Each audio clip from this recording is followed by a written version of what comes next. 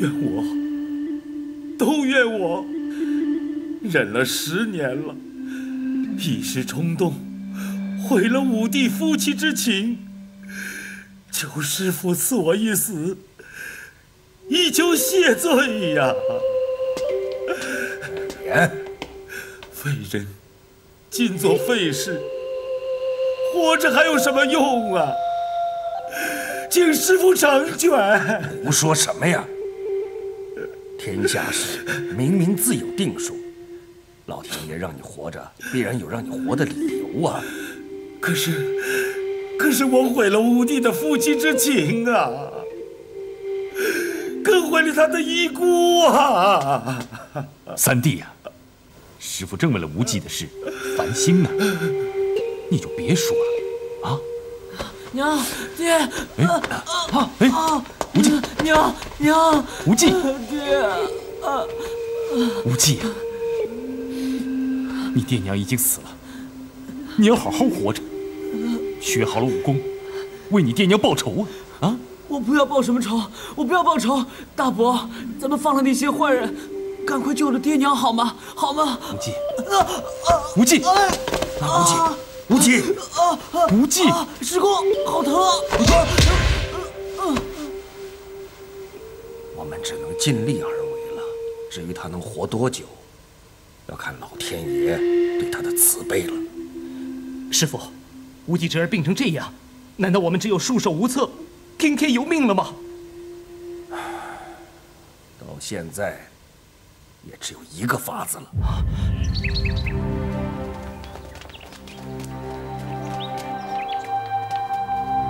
师傅，您一路保重啊！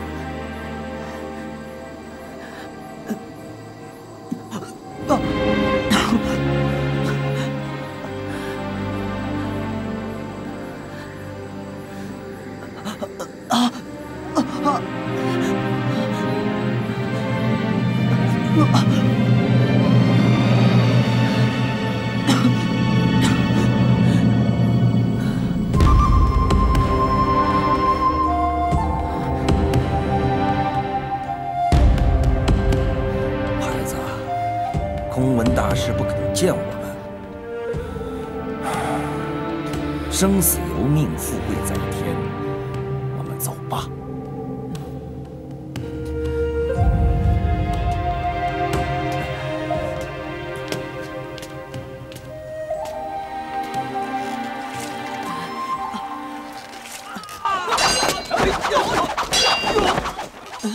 公，你看。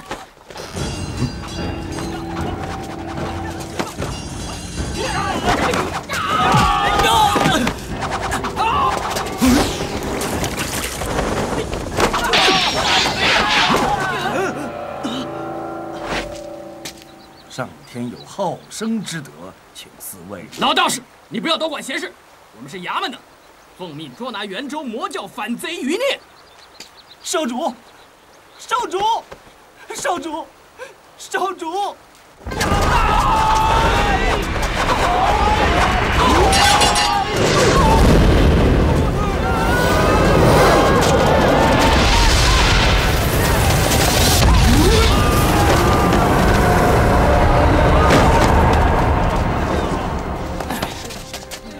老道士，有种留下名号。武当张三丰。走。少主，少主，这孩子是我家少主，一遭毒手。常玉春叩谢张真人救命之恩。起来，起来，起来，赶快起来！少主，我看你身受重伤，还如此保护幼主，你真是一个铁铮铮的汉子。我出手相助，你不必挂在心上。爹，她是是船家的女儿。常母和少主正要过河，六扇门的为了追杀我，连累到他们父女，常母之过呀。少主。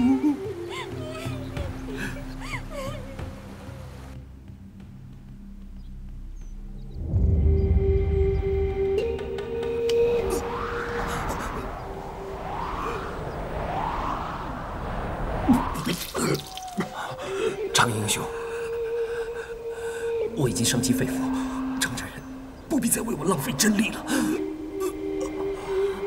师公，师公，我好冷。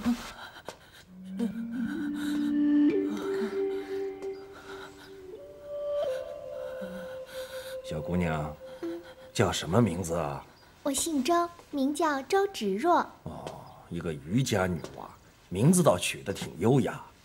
你家住哪里啊？还有些什么人？待会儿送你回去。怎么了？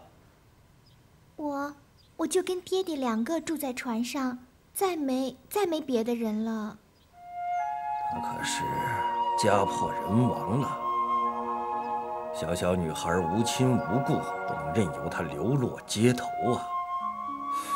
哎，该怎么安置你才好呢？张爷爷，他叫什么名字？张无忌。天气又不冷，张无忌为什么一直发抖啊？呃，他……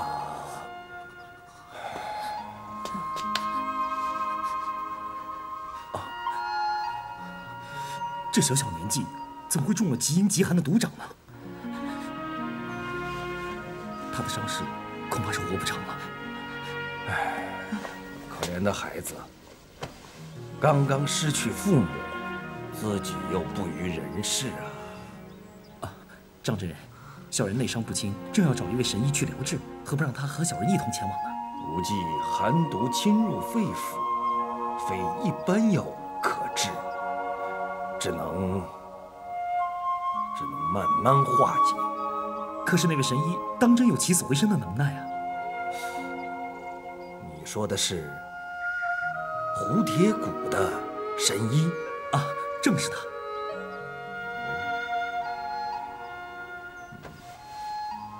素闻蝶谷医仙胡青牛，虽然医道高明之极，但他是明教中人，一向为武林人士所不齿。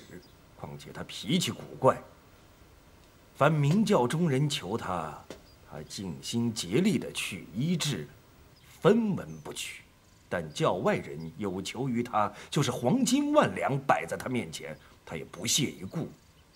因此有一个外号，叫做“见死不救”。朝廷官府当我们明教为十恶不赦之徒，名门正派又看不起我们，就连黑道众人也说我明教是魔教。您老人家明知道我的身份和来历，还出手相救，我常玉纯就冲着这番恩德，也一定要劝胡世伯破例不可。你恩怨分明，我感念于心。蝶谷医仙医道高明，我是听说过的。只是无忌身上的寒毒，实非寻常啊！不是我说话难听，这位张小爷反正也不行了，最多是治不好，左右是个死，又有什么可担心的呢？好，好一个左右也是死啊！无忌只有以死马当活马医了，有你了，常英雄，无忌这孩子就拜托你了。张真人，您请放心。师公，你病好以后，常大哥会带你回武当山的。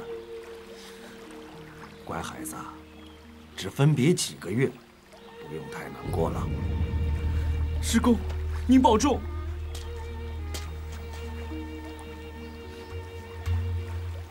虽然我是个女孩子，可我爹常跟我说“男儿有泪不轻弹”。我不哭，我不流泪。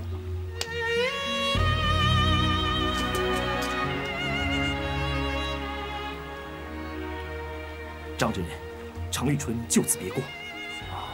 无忌兄弟。